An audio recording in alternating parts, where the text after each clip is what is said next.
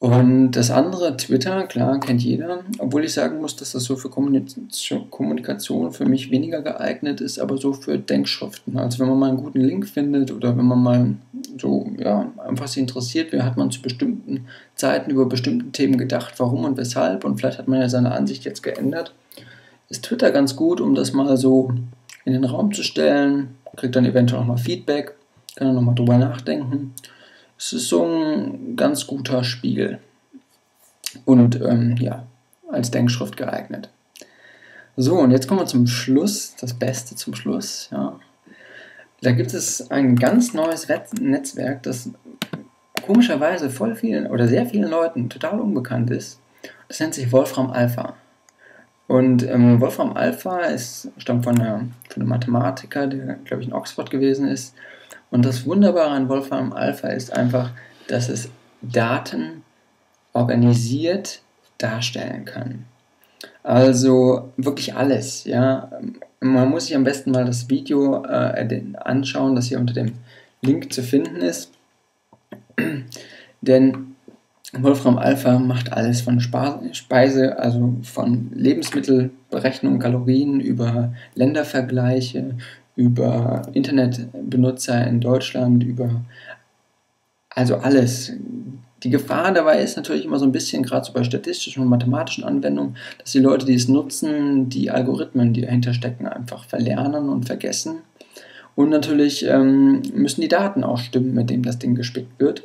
Zum Glück gibt es dazu immer gleich Quellen an, aber man weiß natürlich nie, ob die stimmen. Aber dennoch, also hier zum Beispiel, wir haben mal ein Seminar gehabt über Afghanistan-Politik und dann einfach mal hier der Vergleich Afghanistan-Irak. Ja?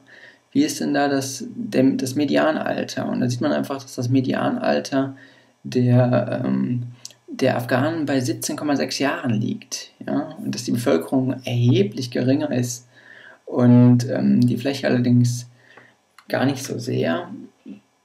Und ähm, ja, unglaublich. Also man kriegt dabei einfach viel schneller einen Blick für ziemlich wichtige Tatsachen und ähm, ohne dabei jetzt selbst mathematisch groß begabt sein zu müssen. Ja, natürlich muss man sich das selber mal alles anschauen. Ich wollte es jetzt nur mal allgemein vorstellen. Ähm, zum Schluss noch was Klassisches in Papier gedruckt. Sehr schön von meinem nicht so besonders beliebten Statistikprofessor empfohlen, was allerdings nicht heißen muss, dass daher die Lehre schlechter wäre. Hier ein wunderbares Buch, The Visual Display of Quantitative, Quantitative Information from Edward R. Tufte.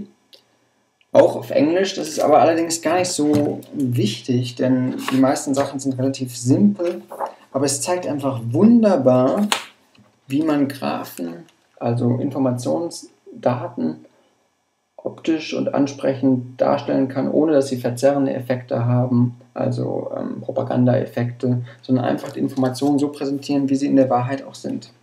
Ist wunderbar, weil man danach einfach ähm, ein bisschen kritischer auf bestimmte Statistiken guckt, die einen in PowerPoint-Zeiten so schnell vor die Nase geworfen werden. Ja, gut, das war's auch. Ich danke allen Leuten, die so lange noch da geblieben sind und ähm, ja, hoffe und wünsche viel Spaß bei den Anwendungen und freue mich über Feedback, andere Empfehlungen oder sonstige Dinge, die sich im Internet noch so umtun. Vielen Dank.